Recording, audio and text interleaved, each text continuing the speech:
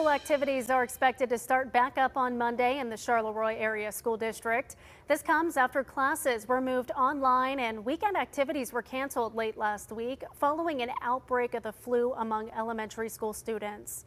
On Wednesday, the district says 81 students were sent to the nurse's office, with more than 30 of them being sent home.